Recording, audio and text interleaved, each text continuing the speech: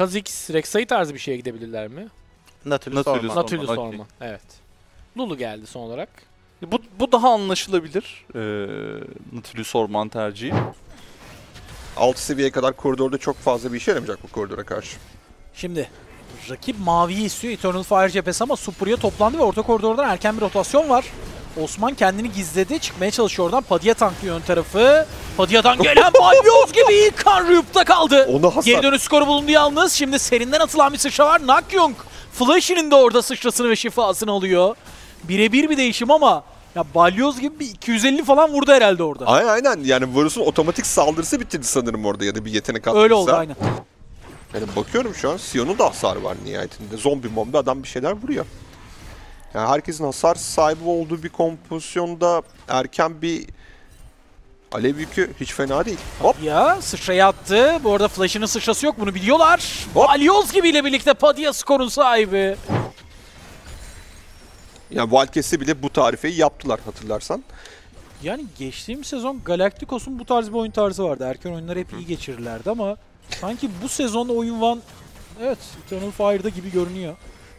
işte Galacticos'un sıkıntısı. Hop Hop Kristal ok.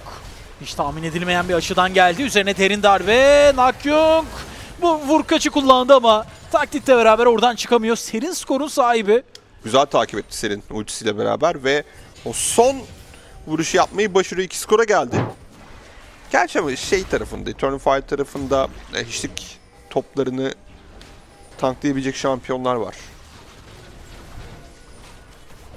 Evet alamette bu arada Nakyung yavaş yavaş geliyor buraya doğru. Vurkaçları ata ata.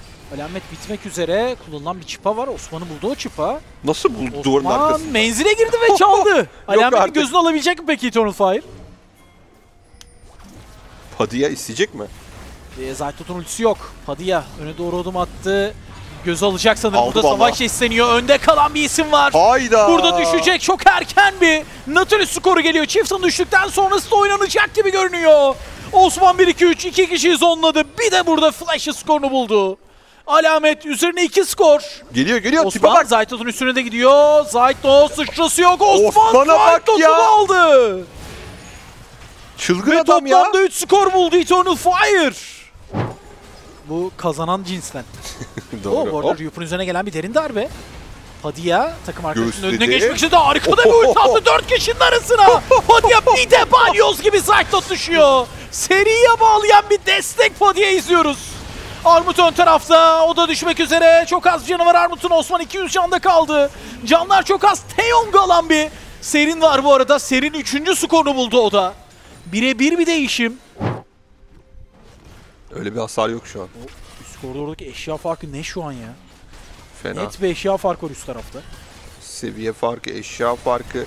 Eternal Fire sadece Oh, bu arada bir Kristal Ok kullanıldı. Üzerine ocağın çağrısı iyi sıçrar Yup'tan ama Padilla yakalanıyor fakat yan taraftan gelen bir Osman 1-2-3 alabilecek mi? Zaytot alamadı. Hasar yetmeyince Osman düşüyor. Padilla'dan kullanılan bu ulti var. Padilla da düştü burada. Çok az canı var. Düşmedi Padilla. 100 canla kaldı hayatta. An MVP o alacak. otomatik saldırının düşüreceğini düşünüyordum Padilla'yı ama olmadı bu. Ve 3'e 1 bir değişim. Osman ilk düşen isim olmasına rağmen savaşta devamını harika toparladı Eternal Fire. Ya- Olaylar Bana şöyle geliyor Johnny. Denizbank Wildcats'in ben kendini finale atacağını düşünüyorum. Ama kalan eşleşmelerde Hiç kimin belli değil. kazanacağını böyle net söylemek mümkün değil gibi. aynen. Şahit Baron geldi. üzere. 4000 can, 3000, 2000. Bir kristal ok kullanıldı. Osman bitirdi Baron'u. Padilla üzerine bir derin darbe geliyor. Balyoz gibiyle çok fazla kalkan kazandı. Padilla'ya bir hayli kaynak ayrılıyor ama en sonunda buraya kadar altını buldu Serin. Şimdi kullanılan defansif bir Sion ultisi Nakyung. Biraz odak çekti üzerine.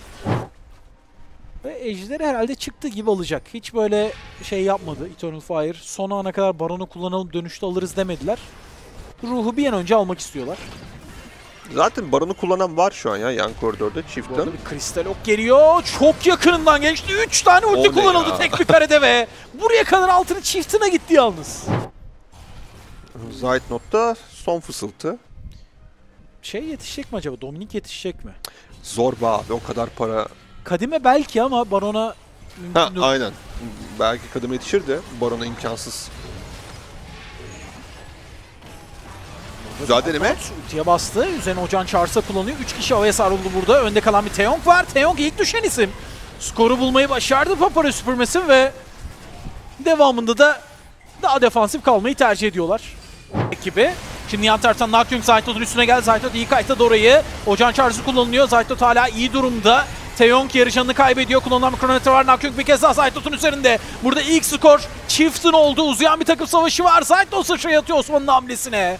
Ve Osman Chieftain'ı aldıktan sonra çok rahat bir baron bekliyor Eternal Fire. Nakyung o kadar rahatsız verici oynadı ki burayı. Yani rakip için. Sürekli rakip nişancıya böyle şey yaklaşıyor. Uzaklaştırıyor. Hasar da veriyor. Aynen böyle yaptığı gibi. Oo, Hatta bu arada hasar vermiyor bu sefer. Skor oluyor E, Nakyung. Öldürdü abi. Nakyung kule altında bir de flash'ı aldı. iki skor Nakyung! birden. Kuleyi falan da tanklıyor. Bitirdi. Ve çok fazla uzatmak istemedi Eternal Fire bu karşılaşmayı. Dakika 30'da Nexus'a doğru ilerleyen bir Eternal Fire var Baron güçlendirmesiyle beraber. 12 bin altın farkıyla burayı tutmaya çalışan bir üçlü var ama çok zor gerçekten. Şimdi Nakyung bir kez daha araya girdi. Serin yarı canda. Önde kalan bir Padilla var. Balyoz gibiyle çok fazla kalkan kazanırken Nakyung aman vermedi. İlk Nexus kulesi düşüyor. Bir çıpa denemesi Osman'dan. Ee, isabetli değil ama çok da önemi yok artık. Ve Eternal Fire 7. galibiyetine imza atıyor. Papara Supermassive karşısında. Bulunan ekstra skorlarla, bonus skorlarla maçı kapatıyorlar. Vallahi muazzam. Röportaja geçelim. Rup bizimle olacak. Rup hoş geldin. Tebrikler. Hem galibiyetiniz hem bu ilerleyişiniz için. Ee, duymuşsundur taraftarların sizi hep desteklemesinden bahsettim. O yüzden böyle genel bir soru sorayım sana. En baştan şu zamana kadar taraftarlar hep destekledi sizi. En kötünüzde de ve şu an gayet iyi gidiyorsunuz. Takımda havalar nasıl? Maçı çok sormayacağım. Onu zaten Japonya dayı sorar. Ya ta- takımda havalar güzel zaten. İyi giden bir takımda havaların kötü olması biraz zor. E, ama yani tabii ki de sorunlar oluyor. Yani her takımda olduğu gibi. Ama diğerleri kadar kötü gitmediğini de biliyorum. Ama sonuçta diğer takımlarda da arkadaşlarımız var. Hı hı. Yani mutluyuz yani. Çoğu takım ortamından çok daha iyi bir ortamda oynadığımızı düşünüyorum. O yüzden mutluyum yani. Peki Rüp, maç istediğiniz gibi geçti? Bir de benim için seçim yasaklamayı merak ediyorum ben. Yani ne düşündünüz, istediğinizi aldınız mı genel olarak? Ya seçim yasaklama aslında benim beklediğim gibi geçmedi. Hani ben o şekilde beklemiyordum açıkçası. Ama zaten hazırlandığımız şeylerde, oynadığımız her şey ya da karşısında oynadığımız her şey zaten bir yere kadar hazırlandığımız şeylerdi. Sadece benim farklı, benim beklediğimden, aslında takımca beklediğimizden de biraz farklı ilerledi. Ee, yine de memnundum yani ben baktığımda. Bot başarımı ne kadar çok iyi olmasa da 2 vs 2 için. Set pick'i bence oyun genelinde çok iyi. O yüzden gayet mutluydum yani ben e, Bumpik ekranından. Ya playoff'ları da garantilediniz ve playoff'larda sizi izleyeceğiz. Şimdiden tebrik ederim o konu hakkında da. Teşekkürler, sağ olun. Ee, playoff'larda ne bekliyor bizi Rüp? Ya playoff'larda aynı e, çizgide ilerlemeye çalışacağız. Yani şu anda yani bir günlük çalışmayla başladık biz lige.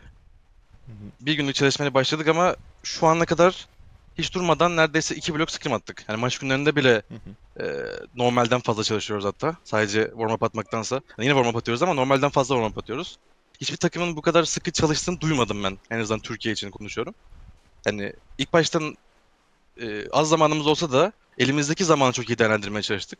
Bence şu an başarılıyız. O yüzden bu ipleri bırakmadan aynı hızla çalışmaya devam ediyoruz. Peki şöyle bir şey soracağım. Özür dilerim Japonya girdim ama. Rup peki net bir soru olarak sorayım. Eternal Fire finale çıkar mı? Biraz ateşli Bence bir soru Eternal sorayım. Fire, Eternal Fire finalde göreceksiniz. Tamam. Cevabımı aldım. Ya, Japonya buyur Buyur estağfurullah. sen sor Japon'u sonra. Warm up derken şey, e, scrim haricinde maç günü de mi siz yani ilk maçlık antrenman yapıyorsunuz öncesinde? Evet, norm- evet, normalde zaten çoğu takım warm-up oynuyor bir maç. Ama biz birden fazla oynuyoruz warm-up'ları da. Hem daha takımca hem daha verimli olduğunu düşünüyoruz. Yani solo queue atıp ya da arama oynayıp el ısıtmaktansa.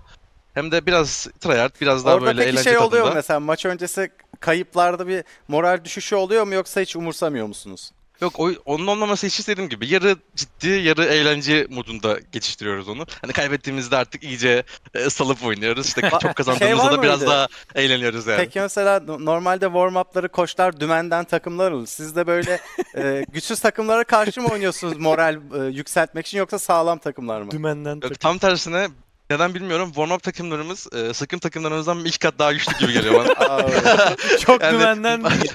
Çok dümenden değil yani. Daha, Ya- daha iyi takımlarla oynarız. Benim sorum da aslında yine takım içi bir soru olacak. Takım çok genç. Yani herkes genç oyuncu. Çaylaklar da var. Ee, oyun içindeki kararlarda nasıl ilerliyorsunuz? O lider diyebileceğiniz oyun içi lideri kim? Bunu merak Ya- ediyorum ben. Aslında dediğim gibi early game'de zaten e, olması gerektiği gibi Osman e, kendi Hı hı. yapmak istediklerini söylüyor genelde. Ama onun dışındaki %90'ını e, Payix'e yapıyor. Ben de genelde sağ daha çok işte asıl fight'ı nasıl oynamamız gerektiğini ve ne zaman fightlamak istediğimi söylüyorum. Hani böyle güzel bir sistem oturttuğumuzu düşünüyorum. Gayet Korelilerin. İngilizceleri nasıl peki? E, Korelilerin İngilizceleri Nakyung'un çok iyi değil zaten. Daha önce deneyimlediğimiz gibi. Onun konuşmasına gerek yok ama bence ya. Evet, o Oyunuyla zaten cevap daha çok- Ama daha çok işte gelebilir misin diyoruz. Ye ye yapıyor böyle. Bu kadar yani yetiyor bize.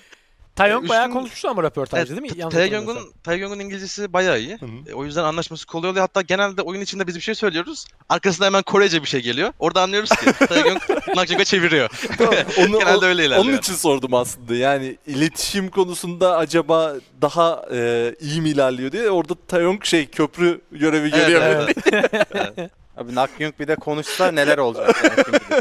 Ben susayım oyunum konuşsun diyor değil mi? Ya biz burada konuşuyorduk. Ee, takım kötü giderken de aslında Nakyung çok iyi gözüküyordu.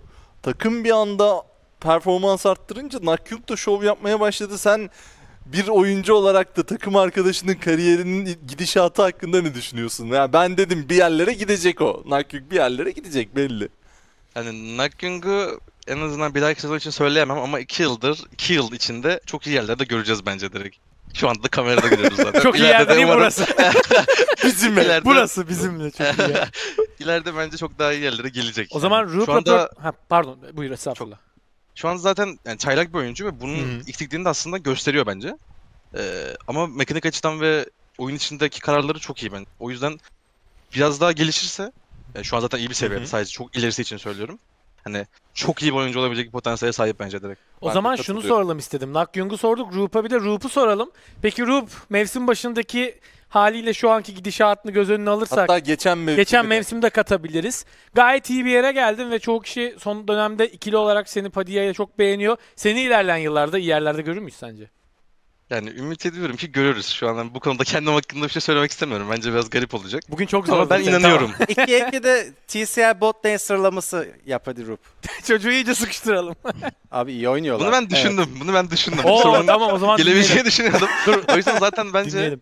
e, bir hakimi koyacağımız belli. Ben Bağporus Evet. zaten lig için oldukça iyi. Ama Bağporus'a bence e, Gamin Carey direkt laning'de Bağporus kadar iyi benim gözümde. Hatta bazı matchup'larda daha iyi bile olabilirler. Hı hı.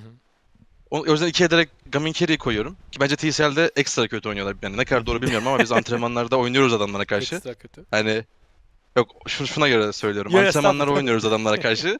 E, antrenmanlardaki performanslarıyla TCL performansları arasında çok fark var bence o ikilinin. Hani onlar biraz daha e, rahat oynamaya başlarlarsa bence en iyi açık arayın ikinci olduklarını lig, düşünüyorum. lig abi.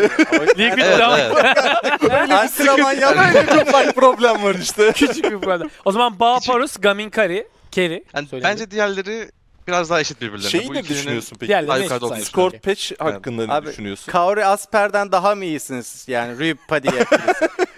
Ya ben Sıkıştı yani. Rap ikilisini bir yere koymak istemiyorum. Rup ben Sadece seni Koyman lazım ama. Rup ben seni kurtaracağım. Bu sorularla daha fazla seni sıkıştırmayalım. Bence bayağı bir sıkıştırdık.